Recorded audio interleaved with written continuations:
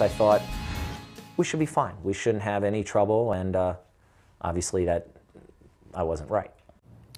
A York County man thought he had booked a relaxing vacation in Mexico. Instead, he ended up witnessing a murder. Fox 43 finds out what you need to be aware of when traveling outside of the United States. Jackie DeTore is here now with a warning.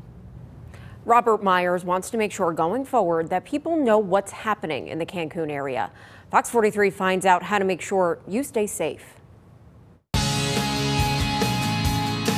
Sunshine and relaxation. That's what Robert Myers and his wife thought they were going to get when they arrived at the Hotel Riu Dunamar in the Cancun area of Mexico. It's a trip that I paid for for an experience I didn't want. The couple from York County was hanging out on this beach in Mexico when they started talking to a vendor. Kind of waved the guy over, he comes over, we're kind of haggling back and forth.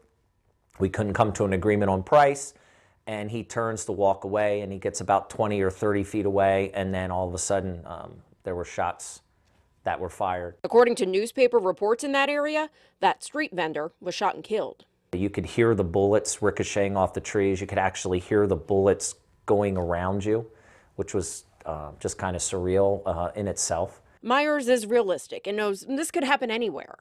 And I'm not a person who believes you can put the world in bubble wrap. So those things happen, and I understand that. However, it was the response from the hotel staff that set him off. I just spent a lot of money to come to your resort and, and everything else, and you're just not even acting like anything happened. He was told the shooting didn't happen on hotel property. We reached out to the hotel and they sent us a response saying, in part, quote, our guest safety is our top priority and we work very hard to make everyone feel well attended. Fortunately, no guest was harmed, and the lifeguard that was wounded was home, safe, and healthy shortly after. So the hotel resumed normal operation and activities for all the guests. The hotel also says all beaches in Mexico are public and under federal domain. Myers, though, says if that's really public property, there was nothing to let the guests know that's the case. There's no indication as to where the resort's property line ends and where the, the public beach begins. Um, there was no direction given when we got there as to, hey, here's where our property lines are. We recommend you stay on the resort. Nothing. Myers is also disappointed with the travel agency he used, Liberty Travel in Lancaster, especially because he had second thoughts about traveling to the area a few weeks before his vacation in May. We reached out to the travel agent and expressed the concern. We actually had expressed that we were thinking of moving the vacation to just somewhere totally different.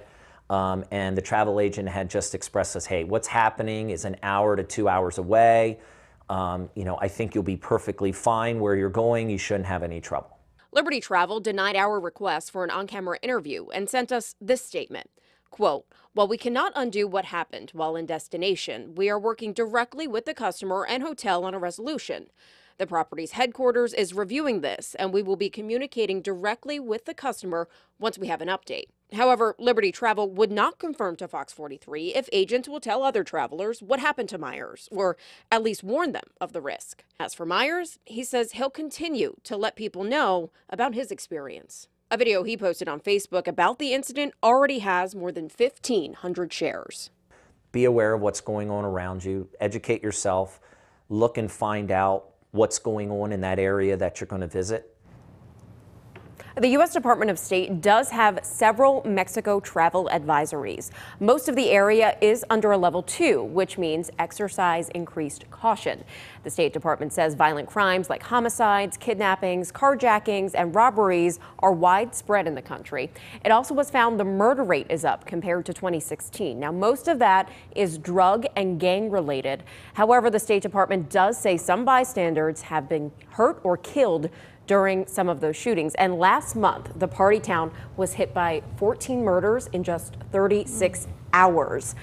That happened um, in April, rather, not last month, but that is according to the newspaper, The Sun. They had reported wow. on that. A lot of folks like to go to Mexico to mm -hmm. vacation.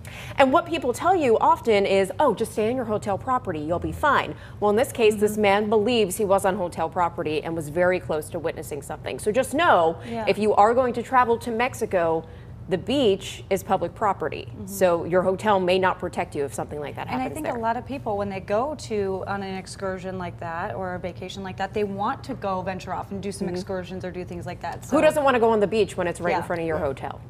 But just some things to be aware of, and maybe something to ask your travel agent if you're planning a trip like this. Hmm. And if you have a story you want me to look into, Fox 43 wants to find out. Let me know. Send me a message on Facebook or shoot me an email at fox43finds out at fox43.com.